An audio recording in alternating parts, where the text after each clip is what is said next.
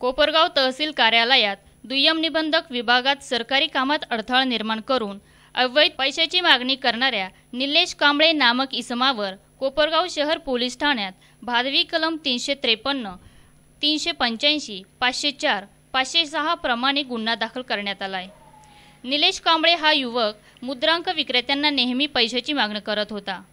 अनेक वेळा त्याने मुद्रांक विक्रेत्यांना मारहाणही केली आहे.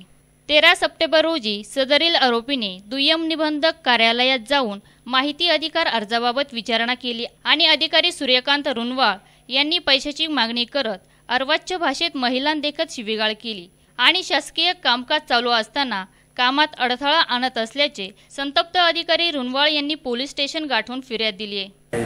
अर्जासोबत कुठले जोडले नव्हतं पण म्हटलं नकायचीच तक्रार करायला. अर्ज ते ठेवून घेतले. त्याच्यानंतर तो दुपारी पाच वाजता परत आला आणखी ज्याच्यामध्ये त्यांनी मान्य नोंदणी महानिरीक्षक साहेब त्यांच्या वैयक्तिक नावाने एक अर्ज लिहिला. आणि तो अर्ज लिहून त्याची एक प्रत त्यांनी या कार्यालयास माझ्याकडे दिली. आणि असं योगा कार्यालयामध्ये लाइट नव्हती. अडीच ते पाचच्या दरम्यान. आणि पाच वाजता बराच काही लोक ऑफिसमध्ये जमले होते काम करण्यासाठी. आणि मी त्याला पोच वगैरे दिली.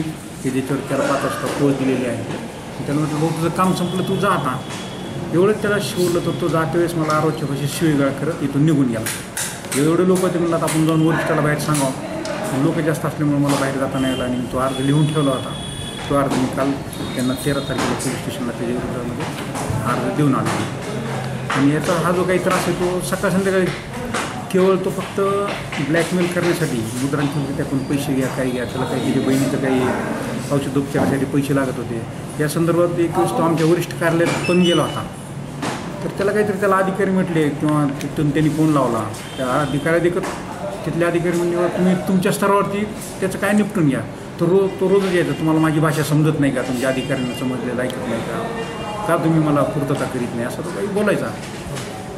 परंतु मग काही काल जास्त झालं जे तो इतर व्यक्तींना बोलत होता ठीक होता पण त्याचं मनोधैर्य वाढलं मग त्यांनी मला देखील आरोग्य भाषेत बोलला. त्याच्यामुळे मी त्याच्याविरोधात तक्रार गुन्हा दाखल केलेला आहे. धन्यवाद. मी जेवढे काही या कार्यालयामध्ये अर्ज दिले त्याला प्रत्येक अर्जाचं मी त्याला त्याचं उत्तर दिलेलं आहे. एवढं देखील देऊन ते समाधान होत नव्हतं. सकाळ संध्याकाळ त्रास देण्याच्या उद्देशाने यायचा आणि तुम्हाला जर वाटत असेल तर मी तुम्हाला प्रत्यक्ष दाखवू शकतो तुम्हाला पैसे मागत होता का नाही ते लेखी जर तुम्ही म्हटले तर मी तुम्हाला ते काही चिठ्ठी देखील दाखवतो. ज्याच्यामध्ये त्यांनी म्हटलेलं आहे की मला औषध पाण्यासाठी पाचशे रुपये लागतात तुम्ही द्या.